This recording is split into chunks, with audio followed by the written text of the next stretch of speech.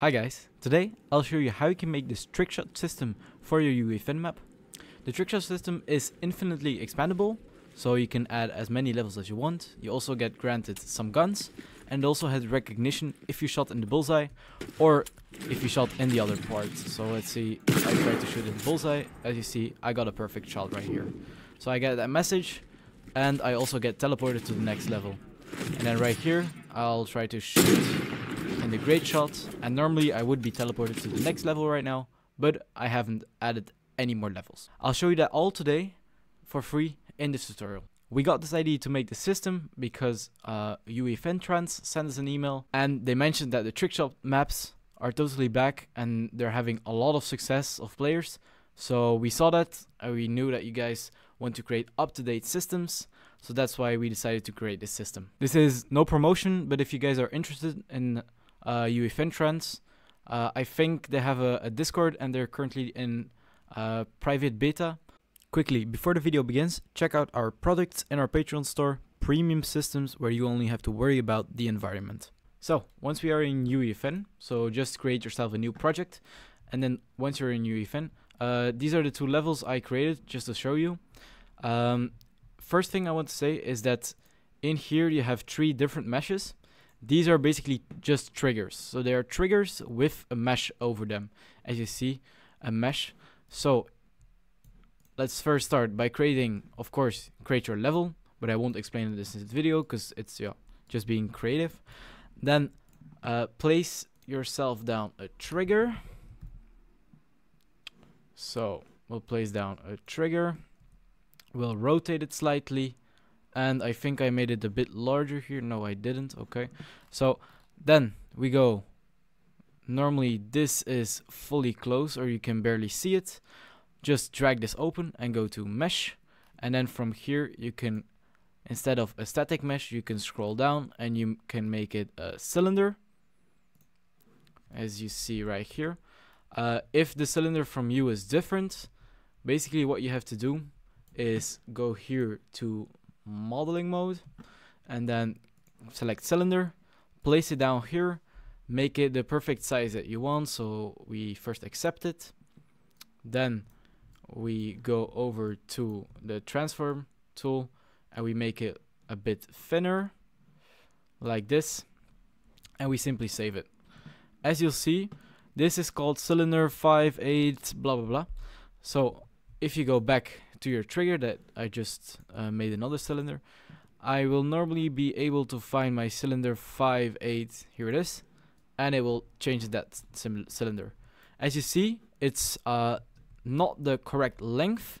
That's because we uh, remodeled, we made some changes to the cylinder, but we didn't bake them. So if you go back to the cylinder, make sure you're still on modeling mode, and then go to Xform, then you can do bake transform and accept. And then if we go to our trigger right now, you'll see it is actually changed into uh, this cylinder right here. So this is how I made these three cylinders and I just yeah, gave them a color uh, again by going to the mesh uh, elements and you can simply search for let's say uh, I want to have a yellow bullseye just search up yellow and click on here and it will be yellow.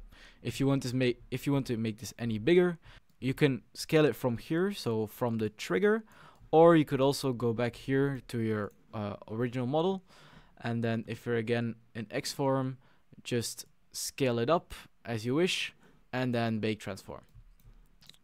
So make sure you've placed down uh, these three. So this will be the amazing shot the nice shot and the uh, the perfect shot the good shot and the nice shot, let's say.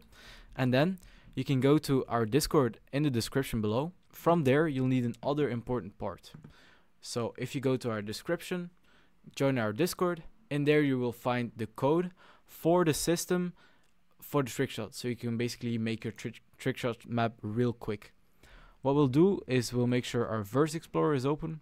I already got it in here, uh, but just simply create a new verse file uh, create an empty one. So create new verse file, create empty, name it something like trickshot system. The name doesn't really matter, but if you have other folders in your map, this can help. You organize stuff and then put it in there. just by uh, Control V in this folder. So then, uh, once you did verse and build verse code, you'll normally have to save some things. Then we can go over to our folder, and in here you'll see there's a trickshot device. Just simply place this one down in your map, um, and you can make this a bit larger so you can actually see. What we made for you guys here is a simple device where you can add everything. So you only have to worry about decorating your map and actually making your map pretty. So what we'll do is we'll add first our player spawners. So uh, for this island I have two player spawners, so I'll add two. So this is these are two arrays. I'll first with the with this guy or you can go from here from the player spawners. I select all my player spawners. Next up is the weapon settings.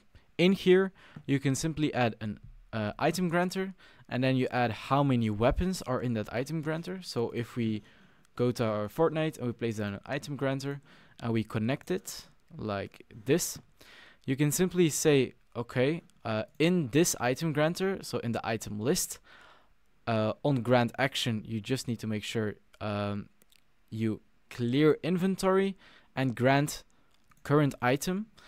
You can add in this item granter, you can add say eight weapons. You can simply fill them in like this. Um, like an assault rifle. Let's go. Um, and then simply add, if you added all the weapons, add 8 here, and it will constantly shuffle through all these weapons.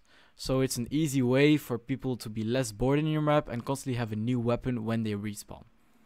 And then the next thing in our device is all level settings. So in here, you will basically be able to uh, add how many levels you want. So right now I made two levels as you see.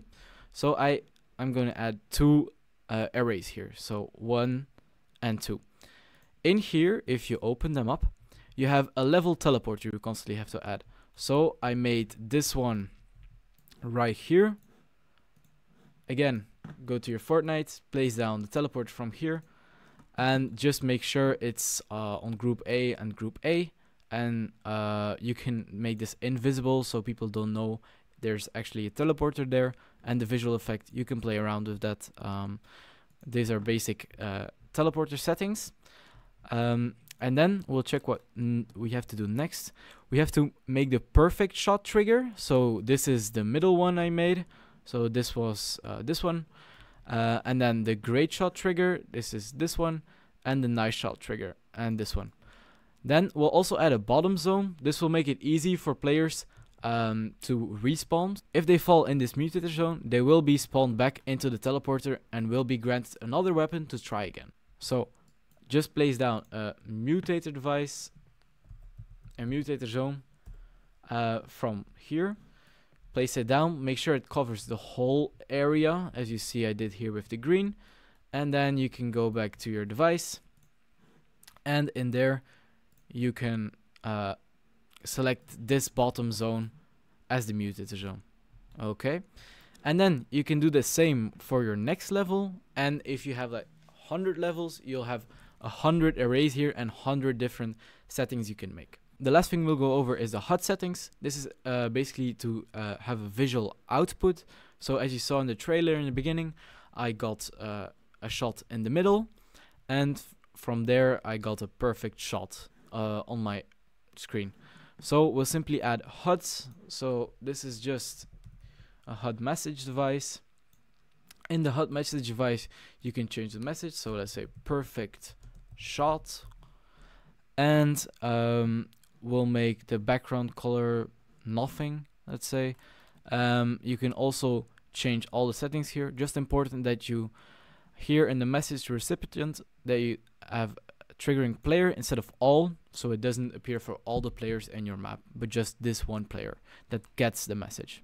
You can change the placement or, or even other settings like the animations uh, or text color but I won't go over that. That's something you have to experiment with yourself. And then just create three of these make sure they're all different messages and then I'll add them in here and then you're basically done. So again, so then simply save everything, make sure you push changes, and uh, or you launch your session, and then you can uh, fully create your own trickshot map. So again, guys, the code is for free in the description in our Discord. If you're searching for premium products, we have a lot of premium systems already made. So you simply have to make an environment on our Patreon store. They're good quality. So if you want to support us and let us keep making these videos, these quick informational videos for beginners uh, and also for more advanced people, uh, make sure to check out Patreon, become a member there. It's free, but also make sure to check out our so- shop for our premium systems. Okay, thank you guys. I'll stop yapping and uh, see you in the next one. Bye bye.